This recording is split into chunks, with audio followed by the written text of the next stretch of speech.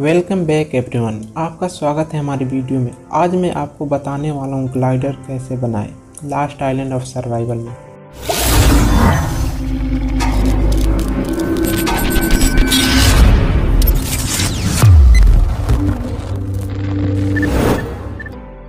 पहले मैं बता दूँ ग्लाइडर किसे कहते हैं। ये जो वीडियो देख रहे हैं आप लोग, ये वीडियो फ्री फायर की है। और जिसके सहारे करेक्टर हवा में उड़ रहा है, उसे को ग्लाइडर कहते हैं। अब आता हूँ सीधे पॉइंट पर और बताता हूँ कि लास्ट आइलैंड ऑफ़ सर्वाइवल में ग्लाइडर कैसे बनाए या कैसे यूज़ करें। तो सबसे पहले आपको इसकी रेसिपी को परचेस करना होगा, जो कि गेम के नीचे साइड में देखिएगा मेल लिखा है। उसमें जाकर शॉप पे क्लिक करिएगा। शॉप में जाकर देखिएगा तो ग्लाइडर बहुत सारी ग्लाइडर आ जाएगी। वहाँ पे उसकी रेसिपी होगी।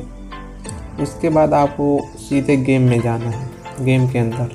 बैक पैक के साइड वाले ऑप्शन पर जहाँ क्राफ्ट लिखा है, उस पर जाकर व्हीकल पर क्लिक करना है। उसके नीचे की तरफ़ बहुत सारा विंग दिख रहा होगा, जो कि लॉक है।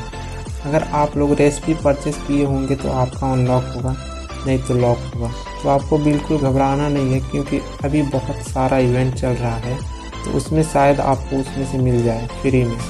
अगर आपको ग्लाइडर फ्री में चाहिए और आप चाहते हैं मैं उस पर वीडियो बुलाऊँ तो आप लोग चैनल को सब्सक्राइब करें, वीडियो को ज़्यादा से ज़्यादा शेयर करें, लाइक करें और कमेंट करके बताएँ मैं वीडियो कब लाऊँ उस पर।